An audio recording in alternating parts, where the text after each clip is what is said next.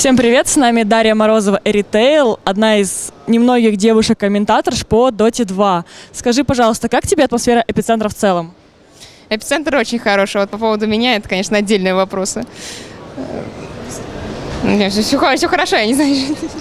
Ты сейчас комментировала игру Virtus.pro и Минески. Как тебе в целом игра? Игра очень, очень, очень достойная мажора.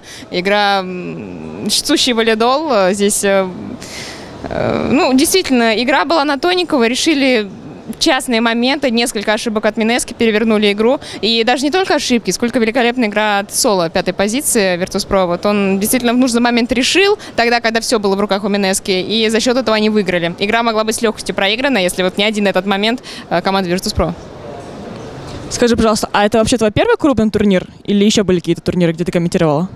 Крупные турниры у меня были, там я и на ДАКе несколько дней работала, один день, прошу прощения, А, я работала и на Galaxy Battles, который был мажором, потом отменили, у него этот статус отозвали, потом э, и на Эпицентре я была до этого, групповая стадия, квалификация, но это первый мой лан, то есть я впервые была в, э, в зале со зрителями и смотрела игру вместе с ними.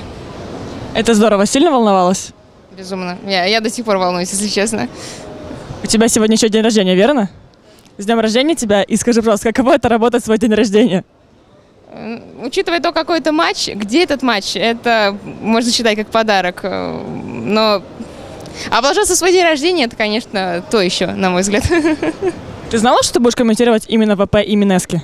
Я знала, что я буду комментировать Best of 1 матч, э, вторым, э, второй Best of 1 матч в субботу. Но, ну, и это знала еще до начала плей-офф стадии в принципе.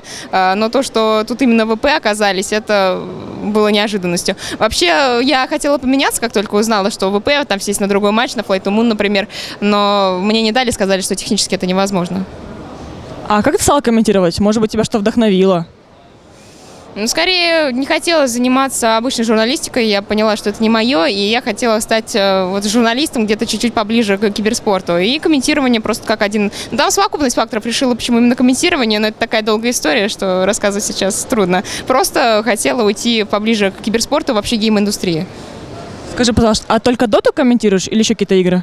Комментирую только доту, но это не значит, что я одной дотой занимаюсь. Я, разумеется, знаю и э, хорошо разбираюсь, как мне кажется, в, и во многих других играх, но вот комментировать их просто нету возможности из-за того, что работа предоставляет. Сейчас дота много, допустим, Overwatch, э, единичные турниры, э, и эти турниры там тоже по-своему поделены, там по пакбу тоже там буквально единицы какие-то, ну а КС, ну КС я просто не люблю как э, сам жанр игры и прочее, то есть мне тысячу раз предлагали перейти и начать комментировать КС также, но душа не лежит.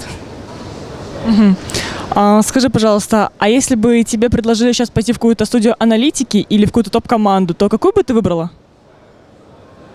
Выбрала ли я бы вообще? Я просто знаю, что там, когда бы мне предложили, что я, скорее всего, не смогу ни хорошо отыграть, ни хорошо проанализировать, потому что это...